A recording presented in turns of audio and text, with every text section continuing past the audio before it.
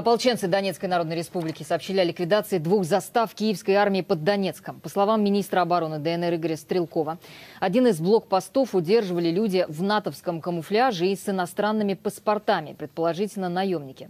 Хотя в последние месяцы среди карателей появились и те, кто не получает денег из Киева. Напротив, готов сам платить за возможность пострелять по людям. Это пополнение украинским силовикам очень кстати. С начала операции на Юго-Востоке они потеряли убитыми, по некоторым данным, не менее двух с половиной тысяч человек. О том, как Киев превращает зону боевых действий в парк экстремальных развлечений для иностранных туристов. Дмитрий Мельников.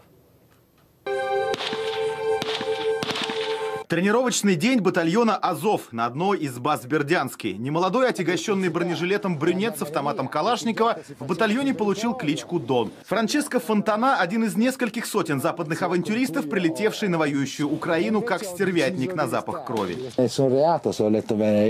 53-летний итальянец, боевик иностранного легиона, с восторгом рассказывает о том, как крошил баррикады ополченцев во время боевого крещения под Мариуполем. Мы волонтеры, и денег я здесь не получаю получаю. Сам заплатил за билет, чтобы приехать сюда, на Украину. Такой опыт мне снился всю мою жизнь. Я мечтал об этом. Здесь нет места сантиментам. Это война, и я здесь, чтобы убивать. Татуировка на предплечье в виде черной акулы. Вот итальянский головорез уже без маски. В молодости член радикальных кружков, на старости лет Фонтана бросил карьеру менеджера в автосалоне и поехал в Киев на Майдан. Там вступил в правый сектор, а затем стал членом иностранного легиона батальона «Азов», который киевские власти создали с подачи советников из Вашингтона. Эти люди, которые даже не скрывают, что они просто убивают мирных людей и рассматривают украинцев как просто папуасов, даже не как папуасов, как по сути просто каких-то животных, да, на которых можно покупать лицензию на, на отстрел, включая танки, гаубицы и все остальное. О том, что иностранцы в самом деле едут на Украину убивать ради удовольствия и готовы за это платить, рассказывает бывший сотрудник компании Blackwaters, гражданин США Стэн Паттон. Вот его твиттер, где он делится расценками на, цитата, «сафари на Украине» в стиле бегущего человека. Выстрел из гаубицы 100 долларов, из танка 200 долларов. Выстрел по деревне оценен в 350 долларов США. А вот еще один яркий представитель интернациональной шайки на службе у Киева. 37-летний швед Микаэль Скилд. От командования батальона «Азов», который подчиняется лично министру внутренних дел Авакову, он получил награду за убийство ополченцев. Шведский снайпер лица не скрывает. Это особое чувство, когда твое сердце колотится, и ты слышишь, как пули свистят рядом с тобой, и видишь, как они ударяются в землю. Я слышал, что они готовы заплатить 80 тысяч за мою голову. Ну давайте, идите, возьмите меня. Вы,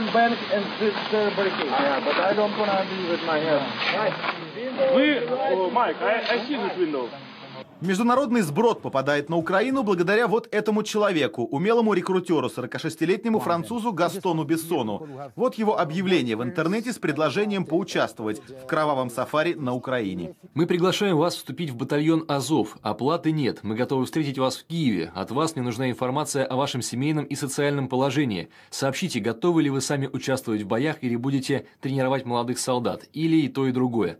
По прибытию в Киев вы получите контактный номер нашего англоговорящего настоящего сотрудника, сон, питание и прочее на нашей базе на Юго-Востоке. Уроженец Мексики служил во французском десанте и спецназе в Юго-Восточной Азии. Участник трех переворотов и двух войн – Лаос, Бирма, Суринам. В 91-м таким же наемником убивал сербов в Хорватии, затем в Боснии. В бывшей Югославии его подразделение отличалось наибольшей жестокостью да, и э, беспощадностью по отношению к сербам, в том числе и мирным. В принципе, мы видим, что аналогичные события происходят и на э, бывшем Юго-Востоке, да, сейчас в Новороссии. Француз не скрывает, что приехал на Украину так, как знал. Его опыт власти Киева оценят по достоинству. Люди приезжают из самых разных стран. Финляндия, Норвегия, Швеция, Англия, Франция, Италия. Мы не берем фанатиков и экстремистов. Нам нужны люди с военным опытом, профессионалы. Мы не за НАТО, не за Евросоюз. Нас вообще не интересует политика. Каждый день я получаю около 15 писем на e-mail от желающих приехать воевать на Украину. Все мы понимаем, что здесь война, и каждый день тебя могут ранить или убить. Этих мастеров мастеров грязной работы администрация США сейчас привлекает во все горячие точки – Афганистан, Ирак, Сирию.